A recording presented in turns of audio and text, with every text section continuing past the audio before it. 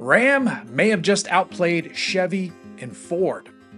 The truck maker just unveiled the full extent of its vision for an electrified pickup, and this one still relies on a gas drinking engine. Not in the way you might think, though, as the brand new Ram Ramcharger is a powerful plug in hybrid boasting great power and tons of range.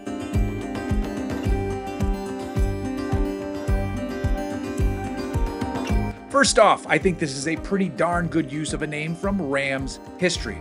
Well, Dodge's history, to be technical about it. The Dodge Ramcharger was a pretty sweet looking full size SUV based on the D Series pickup. Dodge built them from 1974 through 1993 here in the States.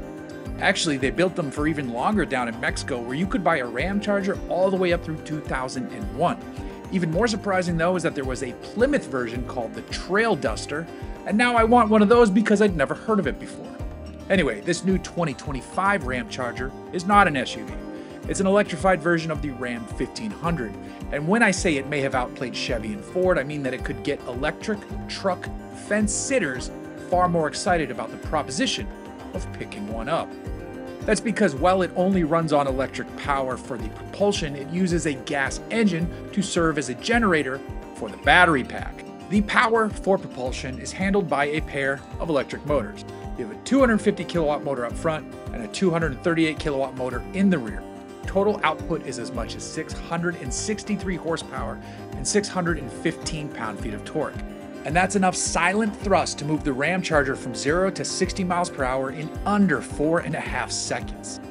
Fitting the motors is a 92 kilowatt hour battery pack, though that's the gross rating, and I'm seeing it reported that the usable amount of battery is rated at just over 70 kilowatt hours, which is still huge for a plug in hybrid. This setup gives the Ramcharger a range of 145 miles.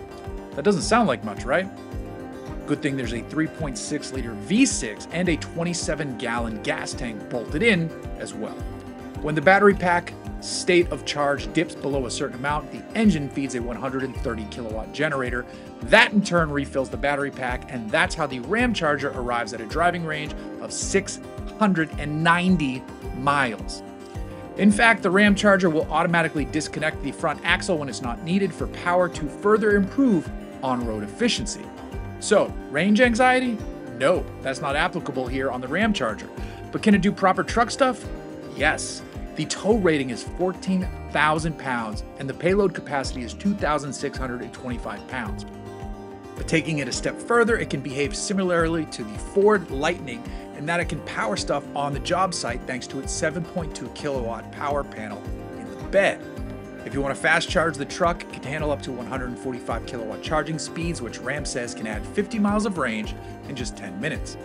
Like the rest of the Ram family, the interior looks best in class. The truck sits on air suspension and still uses the independent rear setup, so it should ride wonderfully as well. There's also a 1,228 watt Klipsch audio system packing 23 speakers. It's probably going to weigh a ton, but the specs that Ram have posted are very impressive. And while the Ram Rev fully electric truck is still happening, it's quite smart to roll out the plug in Ramcharger. This basically solves the complaints that truck users have with the other fully electric options on the market.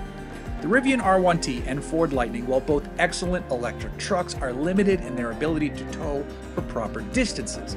With the Ramcharger, you get the electric power, but you have that V6 engine waiting on deck to keep you rolling. In fact, you could keep others rolling too since the Ramcharger allows for vehicle to vehicle charging. There's no word yet on pricing, but I can assume it won't be cheap. Still, the peace of mind this offers a truck owner who's been considering going electric but still needs to tow stuff may prove worth the cost of entry. Ram just pulled a power move in this segment. Shoot, even I kind of want one and I haven't even driven it yet.